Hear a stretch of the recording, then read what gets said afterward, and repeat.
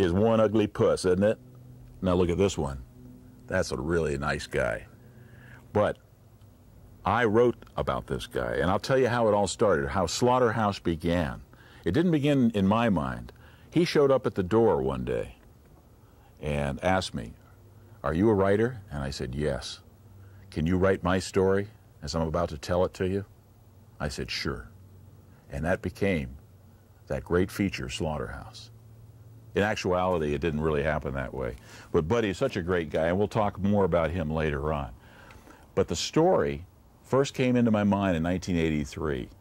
I was lying in bed and I was mulling over uh, past disappointments, other scripts I'd written and bounced around Hollywood and had no luck with and got rejected. And uh, I was rolling around in bed and I thought, what kind of feature could I write and really get going? And of course, horror seemed to be the best uh, genre for everyone to break into. So, and I liked horror. To me, horror is really great because uh, horror pictures kind of are like a roller coaster ride. You know, you you go up the roller coaster and you build up to something, and all of a sudden, ah, you go over the falls and you take a real big dip, and uh, it's a lot of fun. And that's what a horror picture does for kids, and I think that's why they like it. And I'm a 50 year old kid. Okay, I'm 54 but uh, I really like horror pictures. And 10 years ago, actually it was more, uh, it was 15 years ago when I actually thought about this picture.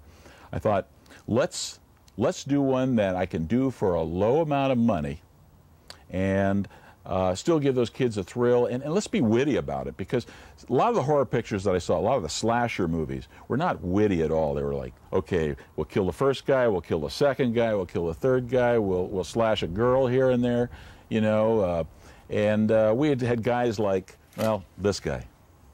You know who I'm talking about. Well, look at Buddy took care of him after the movie. But, uh, and we had this kind of guy. Uh, whoopee doo, you know? I wanted a guy that would really kind of give you some pathos along with the slashing. And that's why I came up with Buddy. Buddy, to me, is everybody's axe murderer. He's nice sometimes. You know, the great Al Capone once said, you know, you can get a long way on a smile, but you get a lot further with a smile and a gun. And that's kind of what Buddy's theory is about things. He's a nice guy. He loves his pigs, he loves people and all that, but don't mess with Buddy. Don't mess with his pigs, okay? Well, I, I wrote this picture, and it went through a lot of iterations. I didn't actually send it to Hollywood. I didn't give it to anybody because I had had those experiences before on other features, on other scripts rather. And I had worked on other people's features and I'd seen what they'd done. And I thought, well, you can do one. And I was lucky enough to uh, hook up with a great producer, Jerry Encoe, who's a friend of mine. We worked together in the industrial film area, and he and I got together. I wrote the script. Uh, we went out, looked for locations, and uh, put this thing together on a shoestring. Let me tell you, it was a, just a real shoestring. You know, as a writer, it's sometimes difficult. You have an image up here in your mind of your lead character, in this case, the Budster, Buddy. Now, who could play that character and bring him to life for you? Because up here, you've developed a certain feel, a look, a sense about that character. And it was very difficult uh, in my mind when I was looking at different people, different actors who applied, to really get a good sense of the character that was up here. Could they really pull it off? And by and far, most of the people that we dealt with up in LA who tried out, just they weren't the right people. I knew that. And I was out in front of the theater where we were trying actors out, taking a break. We're exhausted. We'd worked all day. And this rather short fellow walked up to me, big 300 plus pounder, smiled at me, rather homely guy, and he said, uh, I hear you're uh, trying out for a movie here. I said, I'm not trying out, maybe you are. I said, and I knew up here, I said, this is Buddy.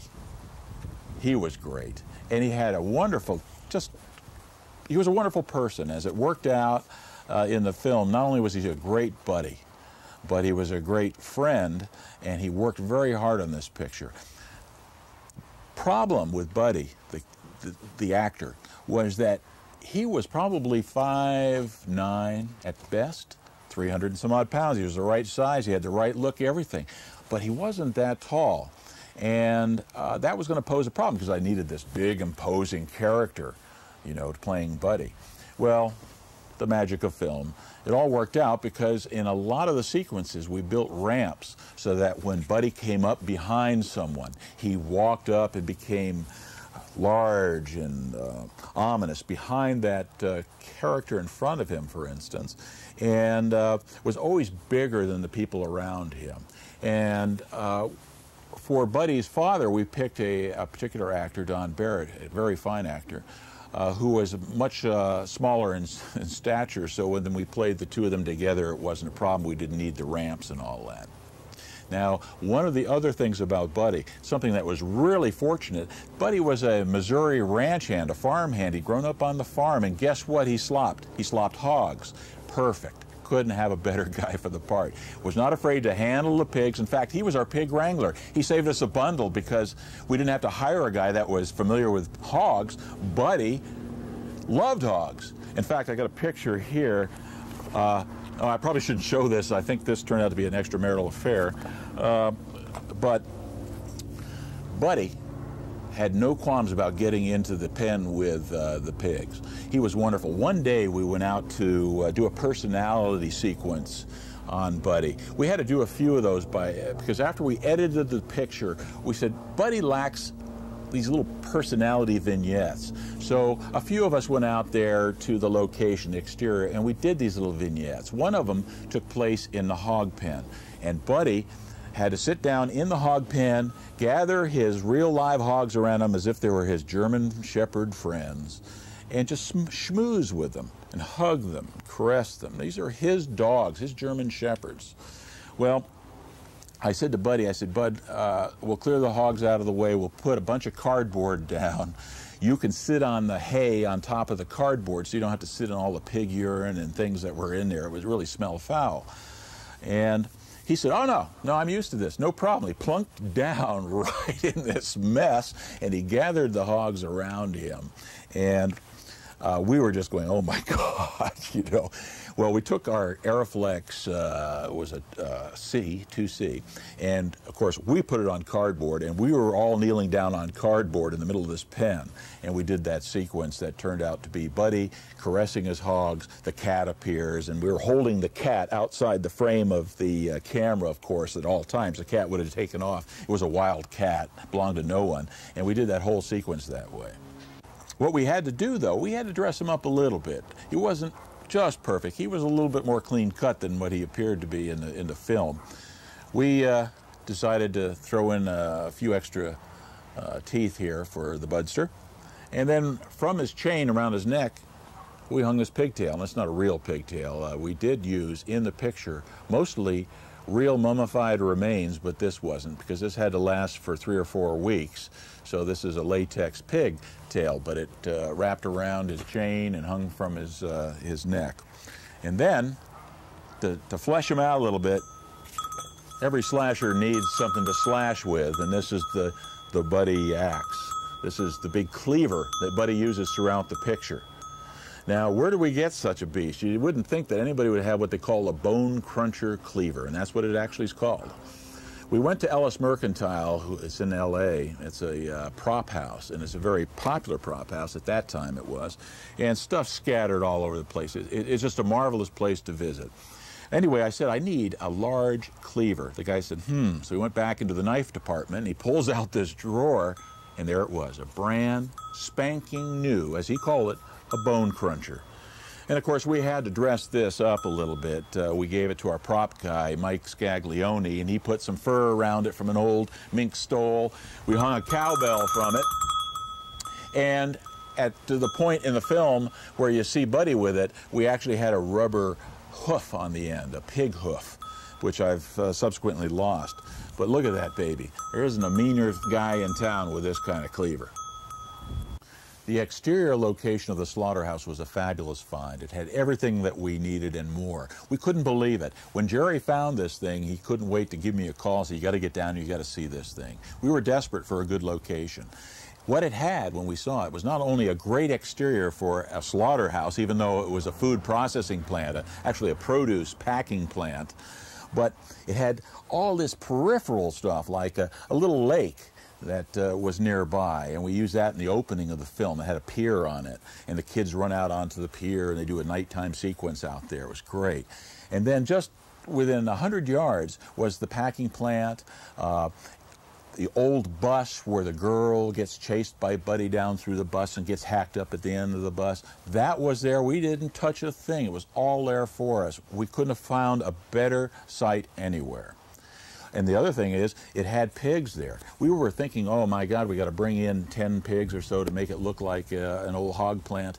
And uh, nope, it was all right there for us. Even the pens were so close to us, just the way you see it in the movie, with live hogs in there already and we got permission to use those pigs and everything around the, the neighborhood there from the landowner. Our last reel is probably the most exciting of the picture, we hope anyway, and that includes the storm sequence with lots of rain. We needed lots of rain and lightning. The lightning was no problem. We had 4K and 10K HMI lights, these huge lights, and we had shutters on those for the lightning. But the rain uh, was going to be a problem. Well, voila. The landowner says, Oh, I have a pumper truck and it has a fire hose on it. So he hooked us all up and he fired up this old truck and it supplied plenty of water through the fire hose. And so all the rain that you see pouring on the windshield of the car, pouring down the front of the uh, slaughterhouse, that's all being fired on the set by one single fire hose. Well, the picture was finally uh, completed and it was time to get together the cast, crew, friends, family, investors, everybody. Uh, and have our own private showing. We rented a big theater, big screen, Loma Theater. And unfortunately, at the time, it was playing Snow White, the re release of Snow White. And we had rented the theater for just one showing, and a lot of family members, a lot of mothers and their kids showed up to see Snow White. And what did they find? They found a slasher out there in the parking lot running around. They weren't too happy with that. But we had a wonderful uh, party, and everybody liked the film, and we figured we're off, we can't lose, we're off and running. And the next thing was distribution through the theaters. Well, it was distributed by uh, Castle Hill, and uh, it opened in Washington, D.C. So we decided to pack Buddy up, myself and one other person, and off we went on, and we went to Washington, D.C. for the opening. And we dressed Buddy up, and we put him out in front of the White House in hopes that the president uh, would invite him in. Uh, and when he didn't get invited in, Buddy just uh, came up with his own little placard here that says, slash the budget. Anyway, uh, but he did get to meet Ronald Reagan and Oliver North, and uh, to this day we're wondering if he was involved in some way with Iran-Contra, but we don't know. Buddy hit it off with the audience that we'd hoped he'd hit it off with, and that's the college student. He uh, was invited over to Georgetown once they knew he was in town and uh, posed with the students, had arm wrestling uh, matches with the students, had a lot of fun, and they really got into it. And we figured, well, we have it knocked with the college crowd. Next, we hit the radio stations, and uh, Buddy was uh, in, interviewed on radio stations, but we kept him in his persona. We bring him into the radio station, and uh, the uh, interviewer would ask him some questions, and he would just go and just snort, and then, of course, I would translate. And we had a lot of fun with that one. You know, I feel really fortunate to have had the chance to actually do a feature film, and I do another one in a blink. The problem is raising capital. Our investors did get paid back on Slaughterhouse, and they did give us phone calls for about a year afterwards saying, hey, we'd like to reinvest. But that was really small capital. And as we've mentioned, it wasn't uh, the amount of money that could keep us going, sustain us and our uh, families. I had children out there with their little mouths open all the time wanting uh, worms, and I couldn't feed them, uh, not on uh, nothing. So we needed next time to have a much bigger budget, one that we could pay ourselves some money to keep the whole thing going. And that just didn't materialize because uh, the problem was that it took almost 18 months to receive any money back from our initial investment. But I tell you, I wouldn't trade the experience for anything. It was fabulous. Even though those were lean times and my wife worked hard to bring home uh, the bacon, so to speak, uh, it was something that I wouldn't have traded, and I don't think any of my family members would ever trade it. They, they loved it too. And I would say that if you uh, have the in- uh, inkling to do a feature, to get yourself involved with one, go for it. It's a lot of fun. It's tougher now than it ever has been because of the big budgets that are out there, but uh, you can do it if you really want to. And I'll tell you something, give me a call. I'm ready to do another one.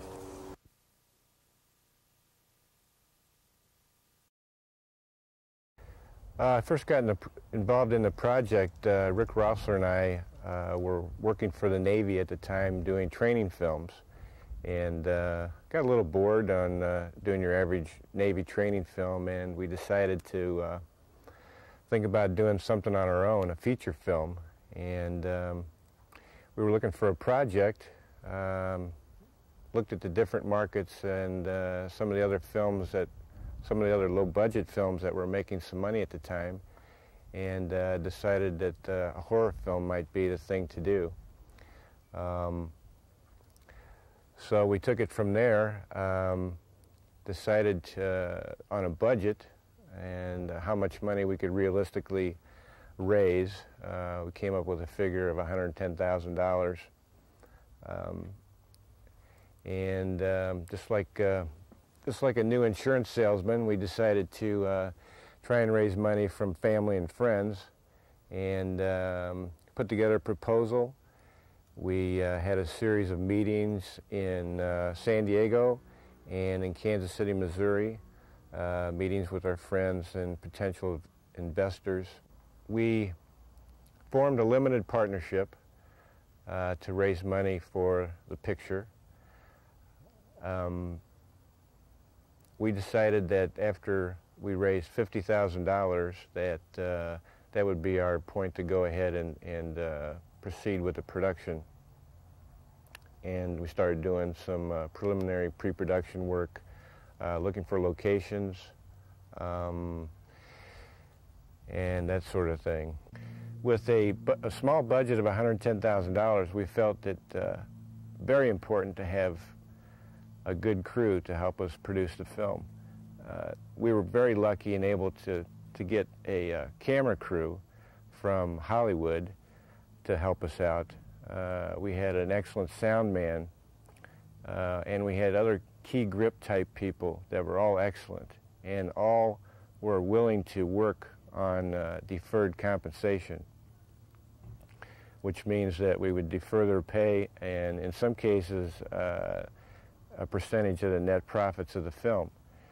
And I think that was, that was a big key for us in uh, pulling off what we did for this small amount of money, have a, a very professional crew that knew what they were doing.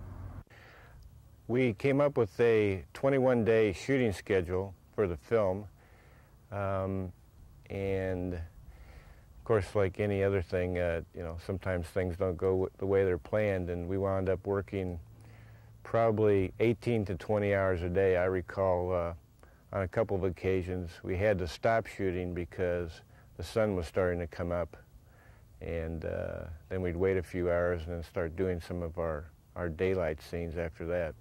Uh, after our 21 days of, of filming, we were out of money and uh, so we shut down the production for a while, went out and tried to find money to do the uh, actually the final scene or the final sequence of the film.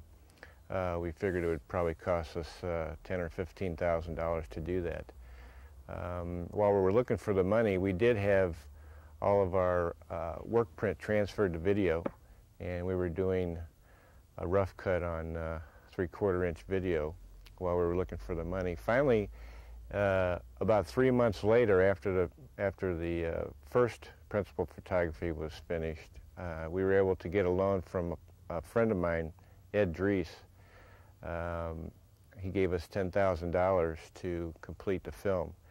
And uh, it, was, it was quite an undertaking to try and as assemble the cast and the crew and again trying to get everything else together that we had done uh, three or four months previously to uh, complete the film.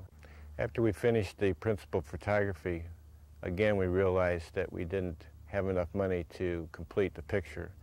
Uh, still needed a lot of money to uh, do the sound editing, the, the, uh, the, work print editing, the sound mix, and uh, release prints, answer prints, that type of thing.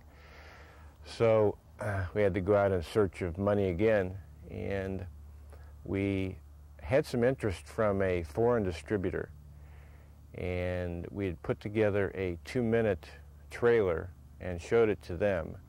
And actually, that's that's how we pretty much sealed our, our foreign distribution deal. Uh, I do recall them taking the two-minute trailer, showing it at a, at a festival in Europe, and uh, really from that trailer made a lot of the foreign sales.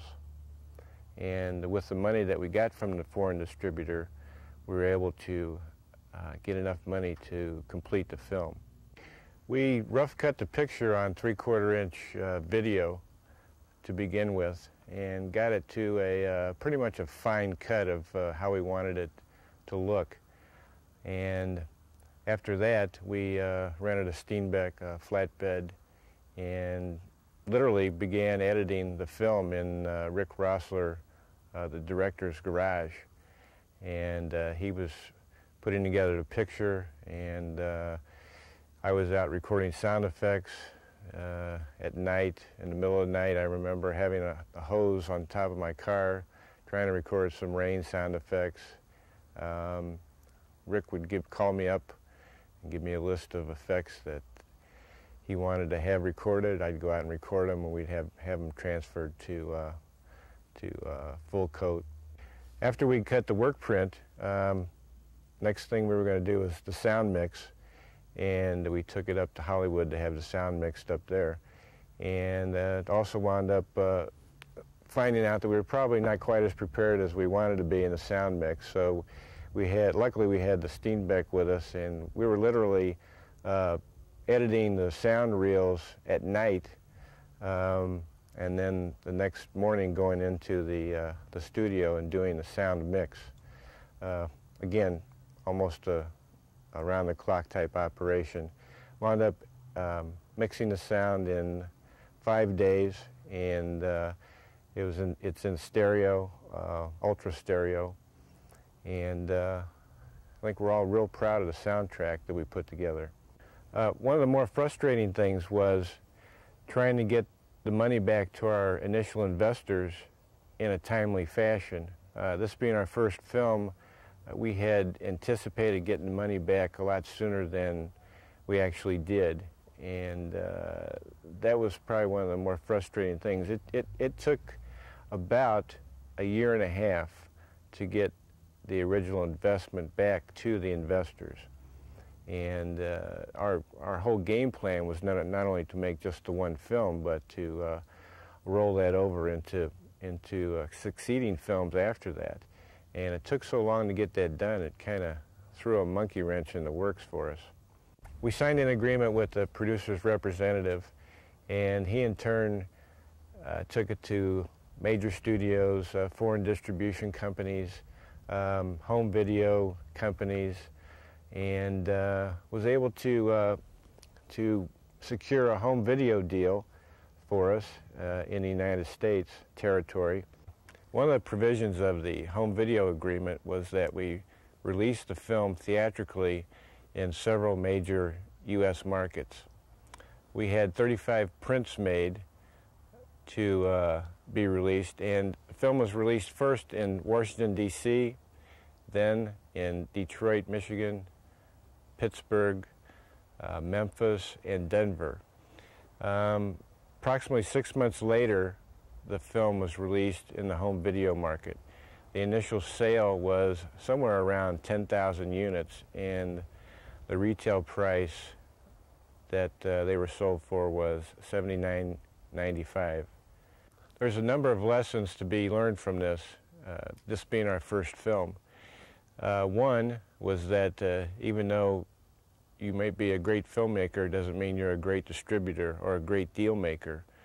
Um, that that became a problem for us because we didn't know the the ins and outs of the Hollywood system at that time. So that was quite a learning experience for us there. Uh, another thing we learned was that the uh, the revenue flow is very slow uh, in getting money back to investors, And uh, consequently, that hurt, hurt us because we wanted to roll the money from our first picture into to, uh, subsequent pictures after that. To this day, I'm still very proud of the work that we did on Slaughterhouse. It was uh, really a tremendous sacrifice. We spent a good year out of our lives putting this whole thing together. And looking back on it today, um, I'd still do the same thing because I think the, uh, the learning experience of making the film, of dealing with the uh, so-called uh, Hollywood establishment, the distributors, um, the home video companies, uh, the motion picture studios, all of that was, was something that's, that's invaluable to me, and I do it all over again, and I hope I will someday.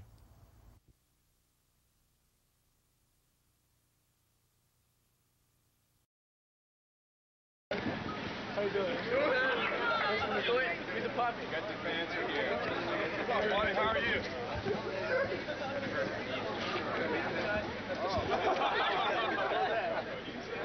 Where'd you go?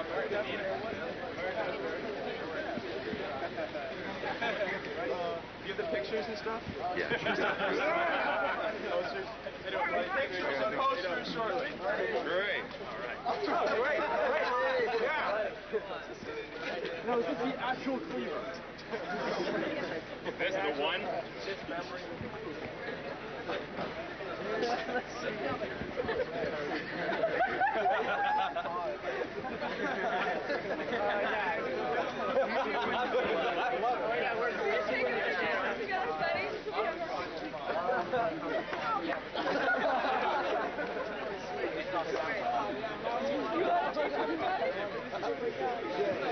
It's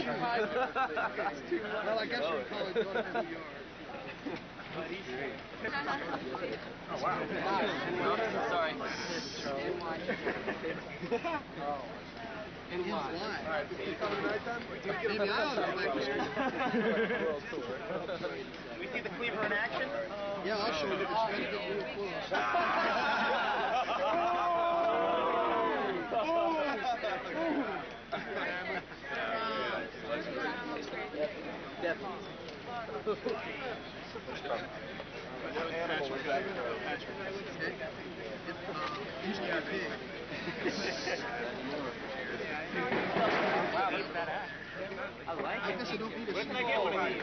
No. Any surplus? Do you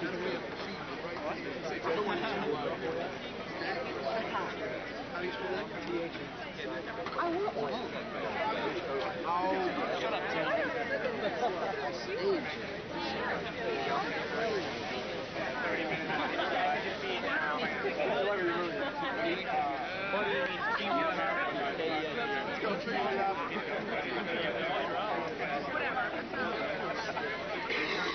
I clear?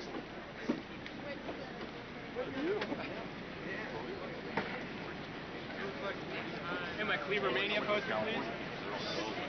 It's just, it's just pretty here.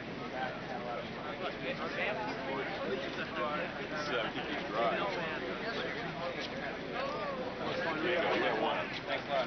Move from me arm wrestler. You're the arm wrestler? Thanks a lot. Thank you. Let me get the. Here, can you get here, Ben? Come on over here. Right out here is fine.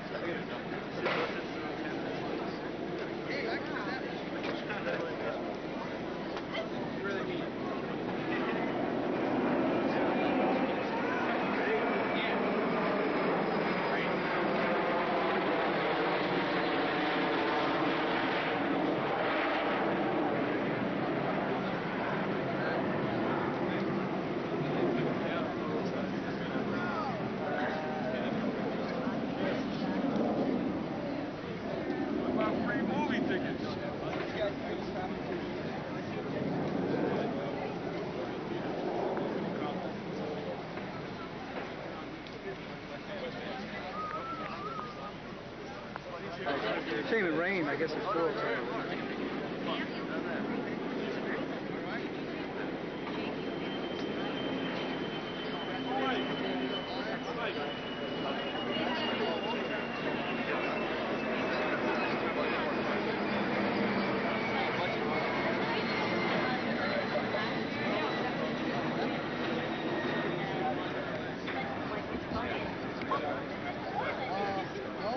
You get some.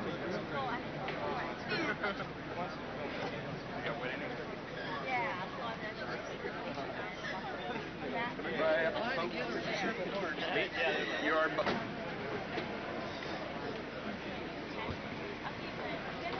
Sentimental guy. Wanted to write down with you, Rob. They did that, yeah.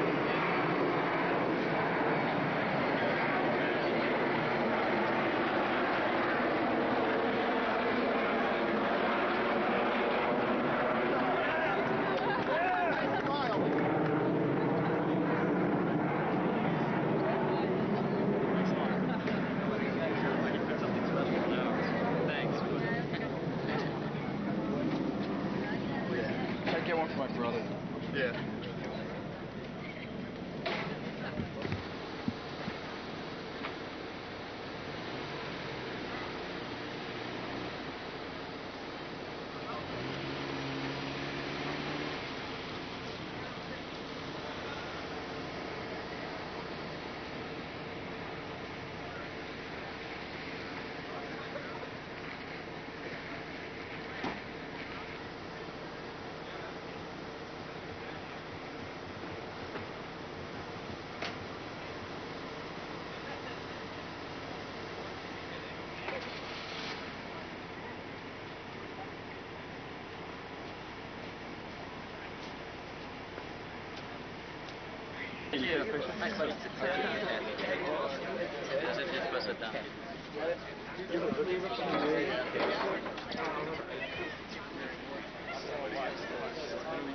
Two colleagues, one.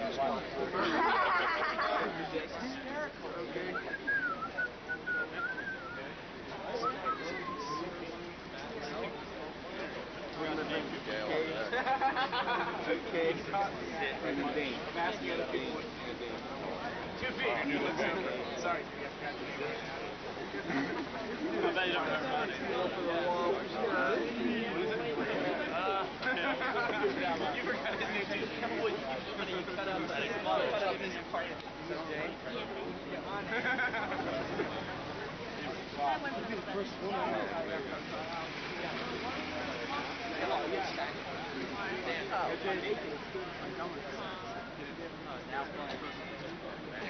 He's right there.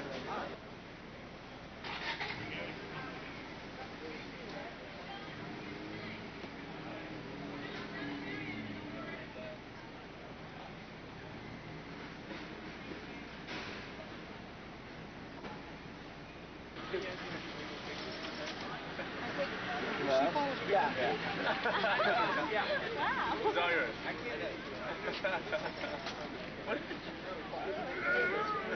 All right. Pretty good looking. We'll do the quick We have to picture. keep hunting. You don't say a word. You don't say a word in the whole movie, do you? What's your biggest, what's your biggest symbolism? College. Look at that. I just had to take this to mom. Jay, I want Look to what I change. met at school. Look at that chat. I want to I'm saying just like except in gold. Great, thanks. That's a pigtail. Oh. Don't worry, just rubber. Somewhere Play with the knife, Teresa, or something like that. Play with the knife. Play with the cleaver, whatever that is. Beaver cleaver. The pig pillow. You don't like him? Thousand times. Show us the camera, Teresa. This is your debut. I Show us know. the camera. Oh. Say something. Oh, can you sing? Okay, let's get some music. Come on. Come on, Jeff. Come on, the beat.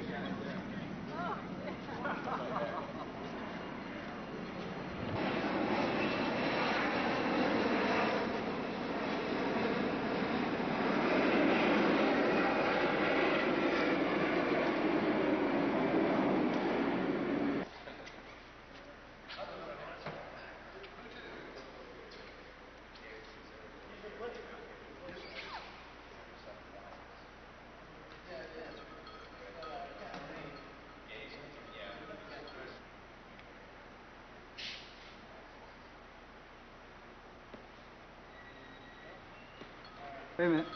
Okay, go ahead. I hate ballet. I love it. Don't you dare cut her ankles off. Hot. She's got her feet are too big. Swing back, swing back and start good, like you're gonna. Her feet are too big.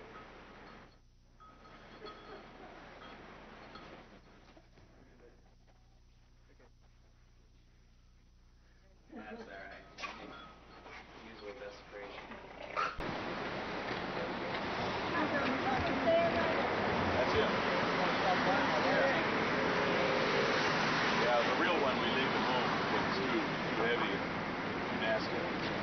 That's right.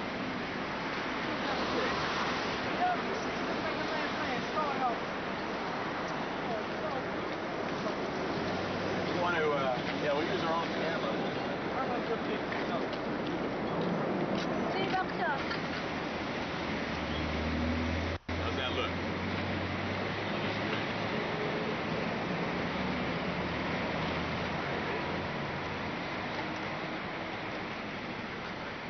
Yeah.